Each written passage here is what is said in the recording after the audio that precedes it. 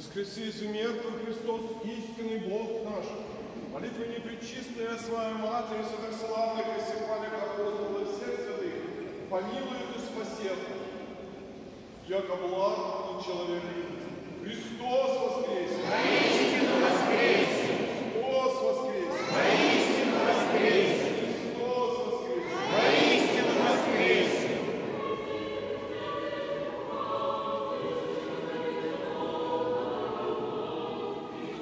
Дорогие, поздравляю вас с продолжающимся праздником Воскресения Христова, Пасхи Господней.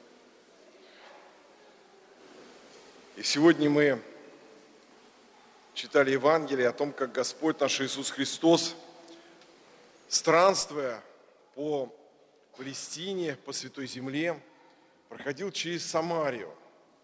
Это область, которая находится ну, к северу от Иудея, восточной Иордана, между Иорданом, Переорданием и Средиземным морем. И там эту местность населяли, населял народ, который назывался самаряне. Они были тоже едино, верили в единого Бога. И, в общем-то, они придерживались закона Моисеева, но у них были ос- свои особенности воспринятия Бога, в познании Бога. Они не во всем соблюдали те установления, которые были в иудейской религии. И поэтому иудеи считали самарян хуже, хуже, чем язычников.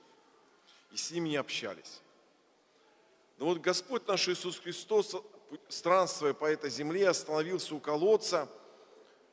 И вот состоялась беседа с женщиной, которая пришла из этого селения, чтобы набрать воды. Женщина, как оказалось, как сказал ей Господь, вела, в общем-то, неправедный образ жизни, потому что у нее было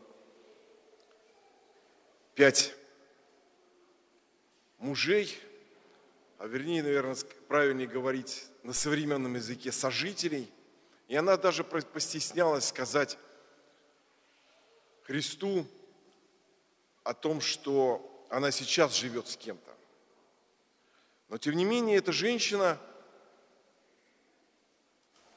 ее, эту женщину все-таки волновали вопросы спасения. Потому что когда она осознала, что перед ней не простой человек, а прорицатель, она восприняла его как человека Божьего. Она задает ему богословский вопрос. Где поклоняться? В Иерусалиме или на горе Сихарь, как это делали самаряне? Господь и говорит, что истинные поклонники будут поклоняться в духе истине.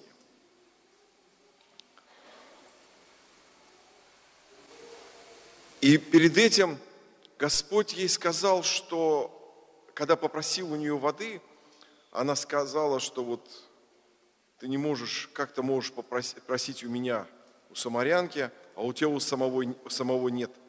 А, и Господь ей говорит, что я, ты вот задаешь мне вопрос, что я прошу у тебя этой воды, а я могу дать жизнь, э, я могу дать воду, которая течет в жизнь вечную.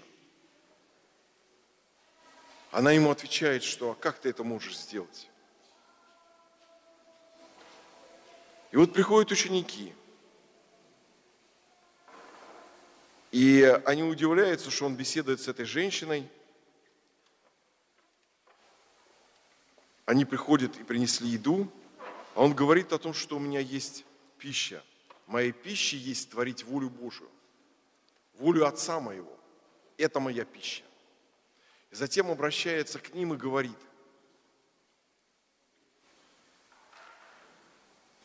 вы говорите, что через 4 месяца будет жатва, а вот сейчас жатва готова. И он уже стал говорить не о жатве, которая растет на полях, а он стал говорить о жатве духовной. И обращаясь к ученикам, говорит, я посылаю вас жать то, что вы не сеяли. Посеяли другие, но и сеющий, и жнущий, вступая в это единое дело, получает свою награду в жизнь вечную. И вот, дорогие мои, ведь эти слова в определенной степени относятся и к нам.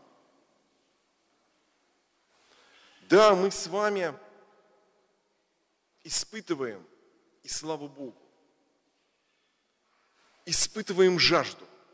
И жажду в первую очередь я говорю не о жажде, которую можно утолить, выпив воды, чая, кофе или еще какого-то напитка, а о жажде духовной. Мы очень часто себя чувствуем, как чувствовал святой пророк Давид, который говорил о жажде духовной. И мы это чувствуем. Но как утолить эту жажду? Мы знаем с вами, что Господь наш Иисус Христос после своего вознесения, день Пятидесятницы, не спасал на своих учеников Духа Святаго. И несомненно, это благодать Святаго Духа, которую мы с вами получили в таинство миропомазания после нашего крещения, она и должна эту жажду нашу духовную утолять. Но ведь как часто бывает, что наши сердца окаменевают, и мы не чувствуем этой жажды духовной. Но Господь нам дал, нам с вами дал, нашему с вами поколению войти в труд и собирать жатву, которую мы, не мы с вами посеяли, а посеяли новомученики, память которых мы вчера с вами так торжественно отмечали. И тех, которые пострадали здесь, на полигоне, и в иных местах. Они посеяли эту, эту ниву и она обильно взошла. Построены храмы, и этот храм. Восстановлена духовная книга печатания, открыта проповедь. И казалось бы, мы с вами и наши с вами современники, наши с вами близкие, друзья, соотечественники, казалось бы, должны жить в этом свете, который сияет благодаря подвигу новомучеников.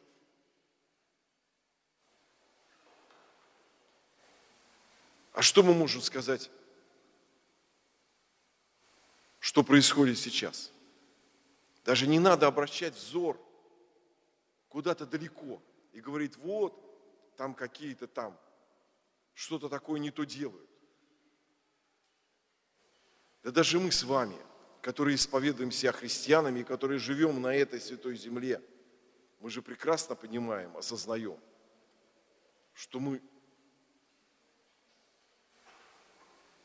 не готовы, не готовы жить духовной жизнью. Что да, у нас бывают какие-то порывы. Мы что-то такое вот на порыве сделаем,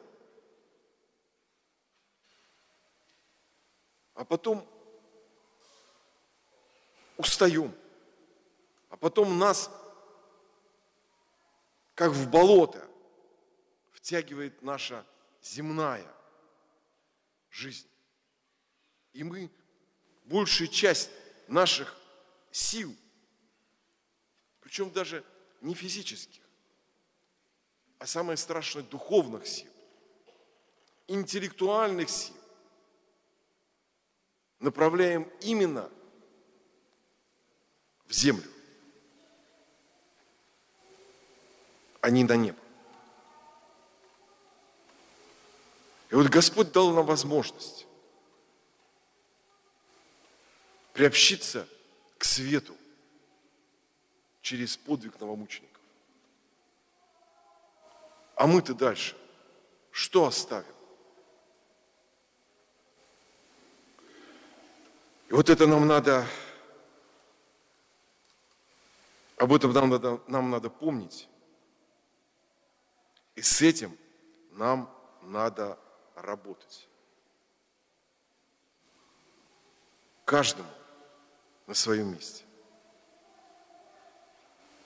Чтобы тот плод, который мы получили, был использован на благо не только нам, но и нашим близким. Чтобы мы могли передать этот свет евангельской истине нашим детям, нашим внукам, нашим близким. И да помогут нам в этом деле святые новомученики и исповедники Церкви Русской. Аминь.